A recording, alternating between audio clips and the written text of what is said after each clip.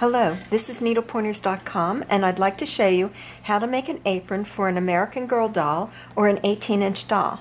This apron is reversible. The first thing that you're going to have to do is to make a pattern. What you need is a piece of paper that is four and one quarter inch by eight and a half inches. The next thing you need to do is you're going to mark along the top two inches. And then along the bottom or the side I'm sorry along the side you're going to mark down three inches and put a mark. Then gently connect those lines with a curve like this. And I hope you can see it on this side, I put a little thing that says place on fold with arrows. And we will be cutting two of these. I've already cut the material, so I want to just show you though what you would be doing. Your material would be folded like so when you do it. And you would have placed your pattern on there like that and then cut it out and when you do that, then you have the one side of the apron, and I cut two of them. So you have two pieces of fabric. They can be the same color or they can be different colors. Uh, you're also going to need some uh, apron ties, and I used ribbon. You'll need four pieces that are 12 inches long, and the width of them should be about 3 eighths to 5 eighths inches. Now, after you've done that and you have your pieces, put the one piece on your table, right side up. We're going to put one ribbon on the top and we want it about 3 eighths of an inch in from the edge.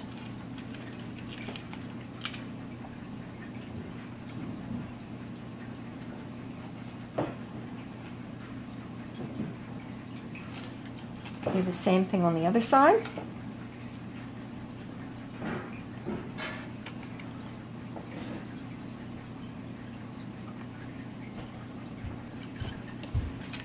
and pin in place.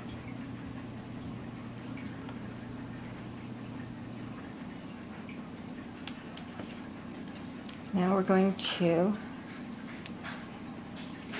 right where the armhole ends, you're going to, we're going to do the same thing. 3 eighths of an inch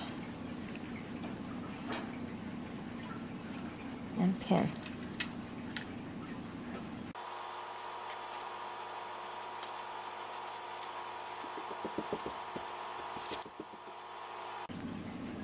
Okay, now you want to gather up these ties so that they're in the middle because you don't want to sew the other ends together. And I'm going to just pin them right in the middle so that they don't move.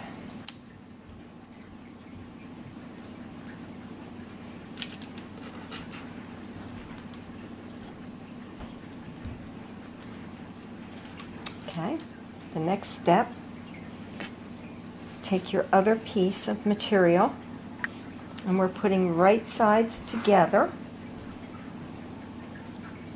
and pin it in place.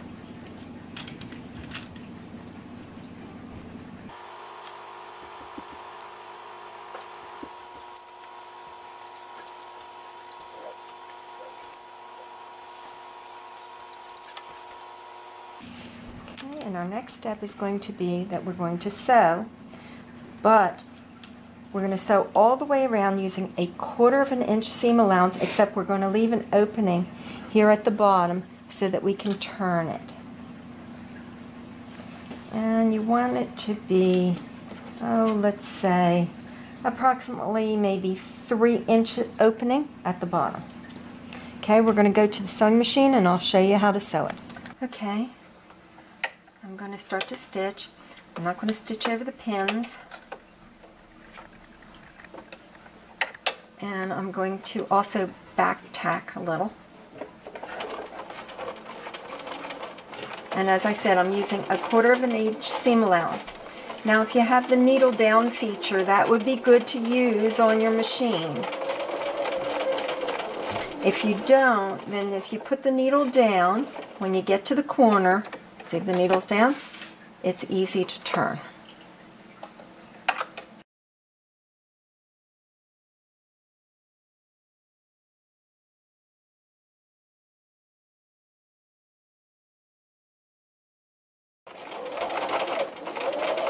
Okay, don't forget to leave the opening at the bottom.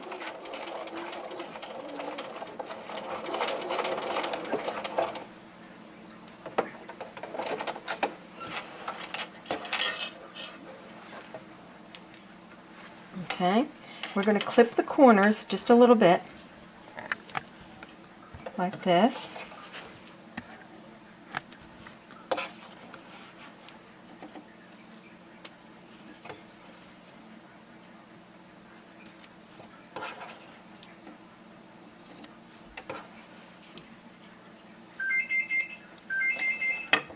Okay, and now we're going to turn it and we're going to press it. So I'll go over to the ironing board and I'll show you how to turn it and press it. Okay, I'm ready to turn it.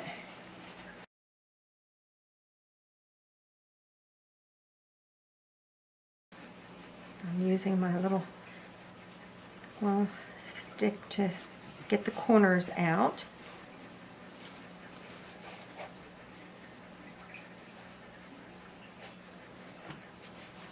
Okay. Just pull these. Now, when you're down here where the opening is, you want to make sure when you're pressing that you press it uh, so that you, when you set, we're going to be top stitching it. So when you top stitch, you're going to be top stitching that closed.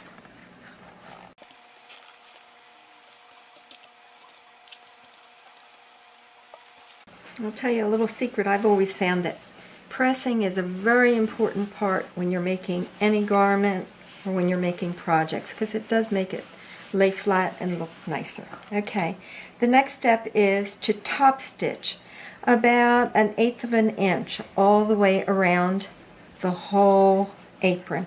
So I'm going to do that and then I'll come back and I'll show you the finished apron. Okay, as you can see that I did stitch around the outside and where the bottom was open it's now closed. Uh, it is reversible. If you want to add some trim to it like I did in the other um, for the other apron you can and uh, the apron is finished. If you liked this video please like it, comment, and share it. Also, subscribe to our YouTube channel. For more doll crafts, uh, visit our website, needlepointers.com. And also, don't forget to come back to our YouTube channel here because we will be having more doll projects in the future. Thank you for watching.